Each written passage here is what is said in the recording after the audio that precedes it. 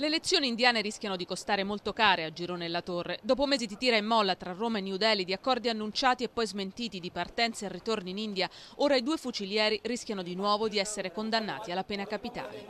A scriverlo stamattina è l'Hindustan Times, quotidiano centrista della capitale indiana, che citando fonti anonime ma ben informate racconta che diversi ministri del governo in carica sarebbero pronti a autorizzare la NIA, la National Investigation Agency, a presentare il proprio rapporto accusatorio, un rapporto che si basa baserebbe sulla famigerata sezione 3 della legge contro la pirateria, che prevede appunto di punire con la pena capitale chiunque causi la morte di una qualsiasi persona. Anche se poco fa il ministro degli interni indiano ha fatto sapere che la decisione verrà presa solo tra due o tre giorni.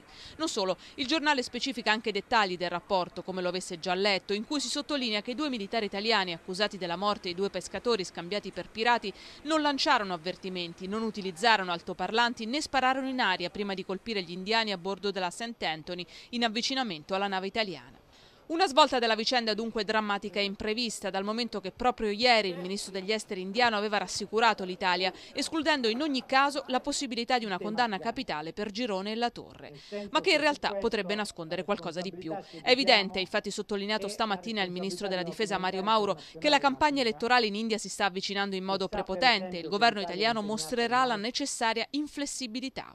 Non è un caso infatti che la vicenda dei due fucilieri sia finita sulle prime pagine dei giornali in testa ai notiziari indiani. Il rapporto tra New Delhi e Roma è molto delicato. A guidare le sorti del maggior partito indiano, il Congress, è proprio un'italiana di nascita, Sonia Gandhi, che dal 2004 guida la coalizione di partiti che governa la più grande democrazia del mondo. E dunque screditare tutto quel che suona come italiano, puntando all'orgoglio nazionale, potrebbe essere l'arma letale scelta dalle opposizioni per la campagna elettorale, come già successo peraltro in un recente passato mercato.